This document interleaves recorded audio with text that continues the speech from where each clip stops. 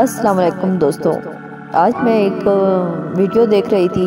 एक लड़की अपने शोर को इजाज़त दे रही थी कि चार शादियाँ तुम कर सकते हो।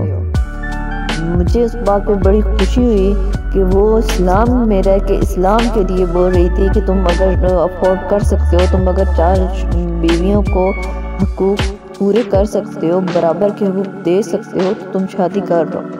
तो मेरी प्यारी बहनों ये इस्लाम हमें इस बात की इजाज़त देता है। मर्दों को इस बात की इजाज़त देता है। तो प्लीज़ आप लोग रोकने वाली कौन होती हैं? आप लोग रोक के गुनहगार क्यों होती हैं?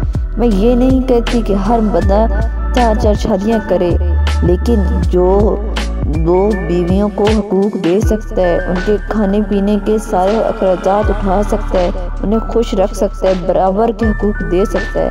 तो हर मर्द को कम अज़ कम दो तो लाजमी शादी करनी चाहिए।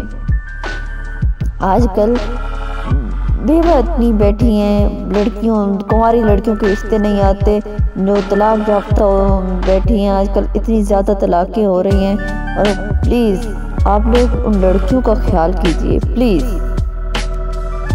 जो वो आप अगर नहीं चाहती ना किसी कवारी के साथ आपका हस्बैंड शोर शादी करे, जब वो सारे खर्चे उठा सकता है, वो करना भी चाहता है तो प्लीज़ उसे करने दें, उसे इजाज़त दें कि वो किसी ऐसी लड़की को सहारा दे जिसका कोई सहारा नहीं है, जिससे सहारे की ज़रूरत है।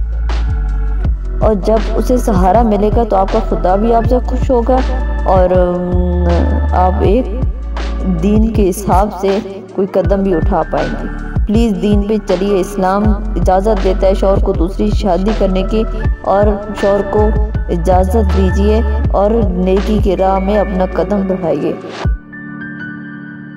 प्लीज़ मेरी तमाम दोस्तों से ये रिक्वेस्ट है, तमाम लड़कियों से कि मेरा साथ दें और अगर आपको इस बात की मेरी नहीं समझ आती तो प्लीज़ एक दफ़ा मुझसे बात कर लें।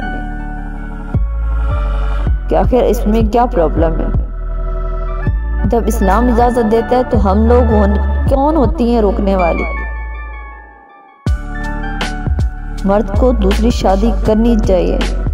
और ये इस वक्त ज़रूरत बन चुकी है। जो हमारी माशरे में बहुत ही गलत काम हो रहे हैं, वो सारे ख़त्म हो जाएँगे। और मर्दों से भी मेरी ये रिक्वेस्ट है अगर आप नहीं पूरी कर सकते, हकूक पूरे नहीं कर सकते तो प्लीज़ एक एक ही कीजिए, दूसरी करने की कोई ज़रूरत नहीं, दूसरे को किसी मुसीबत में डालने की कोई ज़रूरत नहीं है। अगर आप अफोर्ड कर सकते हैं तो प्लीज़ एक, दो छोड़ो, आप लोग चार कीजिए। लेकिन हकूक बराबर के देने चाहिए आपको। ना इंसाफ़ी नहीं होनी चाहिए, ना इंसाफ़ी होगी तो खुदा भी आपका नाराज़ होगा और आप ज़िंदगी भर खुश नहीं रह सकते। प्लीज़ प्लीज़ मेरी वीडियो को ज़्यादा से ज़्यादा शेयर कीजिए ताकि अपना इस्लाम और अपने दीन के लिए सब अपना अपना हक अदा करें। एंड थैंक्स फॉर वॉचिंग तो जो मेरे चैनल पे नए हो मेरा चैनल सब्सक्राइब कर दें। एंड थैंक्स फॉर वॉचिंग अल्लाह हाफिज़। बाय